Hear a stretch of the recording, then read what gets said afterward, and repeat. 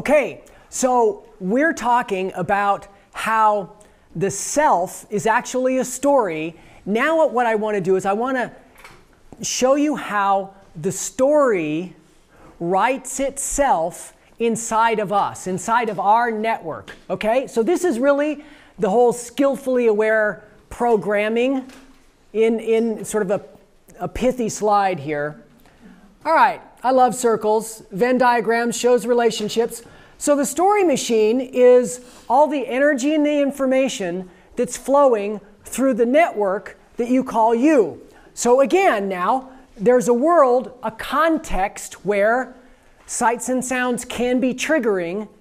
You were at a place at a time when something happened to you that then you thought about. There's a mind that thoughts are flowing through, and there's a body that is processing sensations. All of that is true, and what happens over time based on this flow of sights and sounds, thoughts and sensations is a narrative develops, and the narrative has repetitious themes themes of loss, themes of injustice, themes of threat.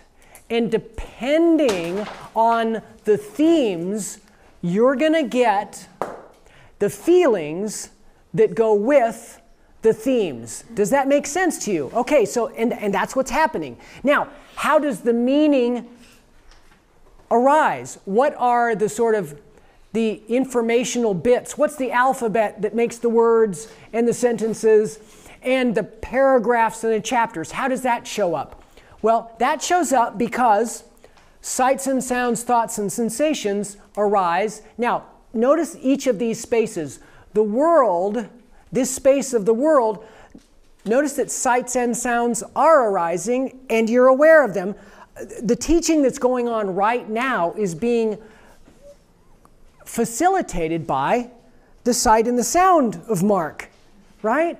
And, and that's how it works. Sights and sounds then flow in. Now, we're going to have thoughts related to what happens outside. Now, the thoughts are going to have, thoughts are, in a sense, symbolic sights and sounds.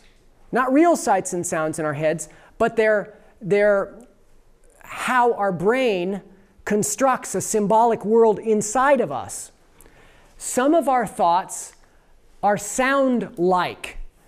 We've all had the experience of listening to our own voice in our head. Who, raise your hand if you've ever had a song stuck in your head. Yeah, all of us, right? That's a sound like thought. So we're going to agree to call all sound like thoughts talk. Okay?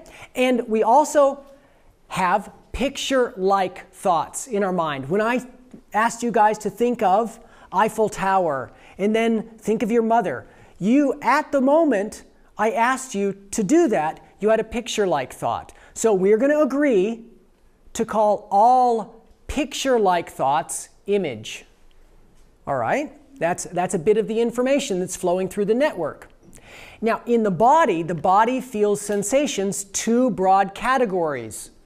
One broad category I call touch sensations, and touch sensations are the sensations that are telling you about your body, what's going on with your body. So, for example, warmth, coolness, tingling, pressure, pains, itches, joint position sense, comforts, discomforts, anything that is cluing you into what's going on with your body. Like if you're if you guys if your eyes were closed right now and those of you at home watching this video, close your eyes for a moment and and see if you can tell what position you're in whether your hands are in your lap or your legs are crossed. Notice, if, notice you can tell. How do you know? Because touch sensations are telling you so. So there's always a flow of information where the body is telling you about itself. Now, we also feel our feelings in the body as well. So remember when we talk about that story and how if there's a, a theme of threat, we feel it, that is going to show up as what I call feel sensations or feelings that it's not those they are sensations but they're not telling you about a body part. They're telling you about an emotional state. So if, for example, um, I get sad and I have a lump in my throat, the lump in my throat is not telling me about my trachea. It's telling me that I'm sad. And we all get that. And so notice that I've given six words to the fullness of what happens inside of ourselves. So, sight, sound, talk, image, touch, feel, if you put all of that together, that makes the fullness of your experience. And the, um, there was a psychologist, his name was William James, and he said if you have a word for something, you'll be able to engage with it. And that's why in this program, I'm giving you six words sight, sound, talk, image, touch, feel. So that will enable you to be able to monitor where your attention is, whether it's on sights or sounds, talk, image, touch, or feel. And if all of the parts came together, let's say you did get really triggered, in retrospect, being mindful, you could notice that, oh, sight, and then talk, and then feel. Like you could see the parts. And in, so instead of you going down the rabbit hole, you got triggered, you got pissed off, instead of your brain doing that habitual reactivity thing, your brain would be instead in analysis. And that's two different patterns. You're using your brain two completely different ways. And so now that you have these six words sight, sound, talk, image, touch, feel when you sit on a meditation cushion or when you walk around, if you really do get into practicing, part of the practice is noticing and sort of naming, noting to yourself, oh, sight, and then talk, and then feel. Or if it starts in your mind, you're driving and and talk arises and then image and then feel. Like you're the one that notices oh I, I almost i almost triggered myself. And you could say to yourself oh, talk image feel Okay? That's, that's part of this. And when it all comes together, all that meaning, that's what writes your story. It's multimodal.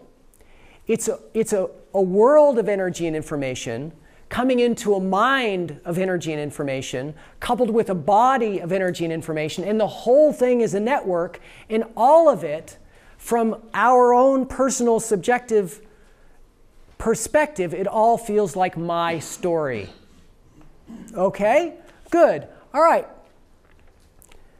The repetitious self talk, it's there in every single one of us. We have habits.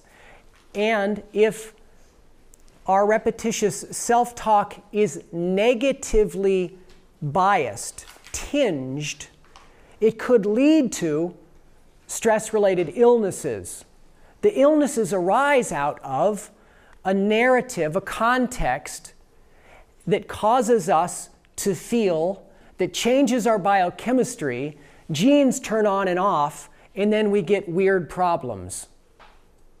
And then often you get a pill for it, mm-hmm. right? And the pill, the pill is meant, so nothing wrong with taking medicine if you know what the, you're taking the medicine for. You're taking the medicine to reduce the intensity of symptoms.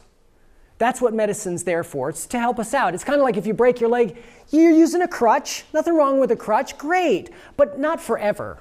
Does it make sense? And, and the same with the medicine, because the medicine can't shift your story, it can't shift your context. And so it's not going to change ultimately your relationship to yourself and things in the world. Like you have to do that. You have to start to become more aware of what you allow yourself to focus on, if you really get fixated, and at night stay so fixated on a story of injustice that it's robbing you of sleep. Right? Like the, the that's the problem. You could take a sleeping pill for that, but it's not going to solve the problem of the fixation. So that's where we have to learn how to become our own therapists. Okay, great. So you guys understand the story machine? Now, what we're going to do is we're going to, just like I took that, that cup apart, we're going to get really good at taking the parts of our own experience apart. There is the, a domain of the world, there is a domain of the mind, there is a domain of the body. Now, let's say, let me give you um, uh, an analogy for how we're going to do this. So let's say I'm a recording artist, kind of like, um, you know, Michael Jackson, where I write the songs and I perform, but I don't play any of the um, instruments. I've got studio musicians to do all that for me.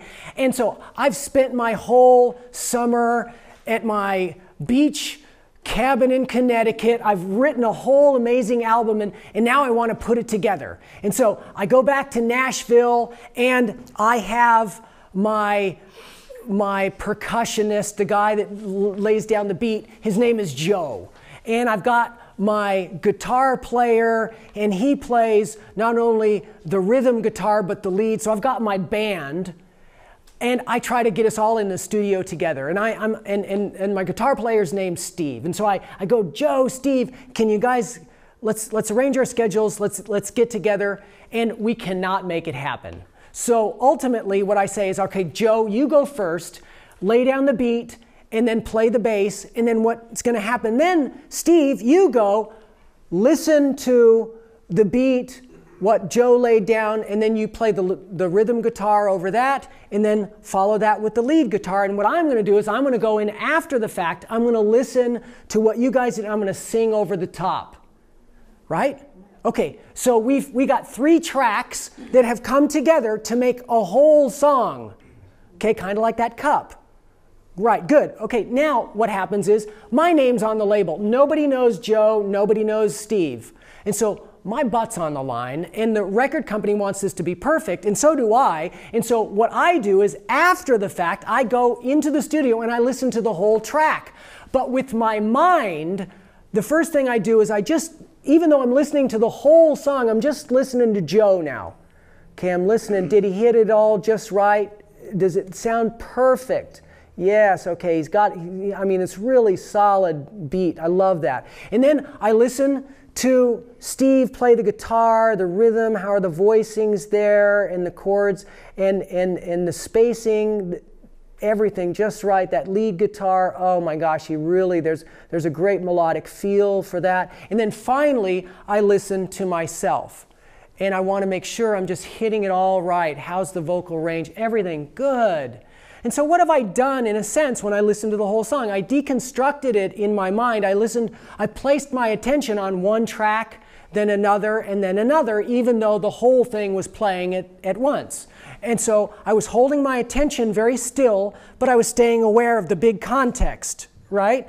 You're doing that already. Now, I just want you to expand that idea and apply it to your life. There are three tracks in your life. There's the track of energy and information coming in to you from the world. There's the track of your mind, and then there's the track of your body. What I want you to begin to do is be able to take the tracks apart. Okay? That's, that's where we're going with all of this, and we're going to do that in the meditations that follow. Good? Everybody good? All right.